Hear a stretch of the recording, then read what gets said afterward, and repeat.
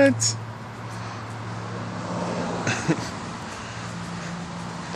I don't want to get fucked up by a bird.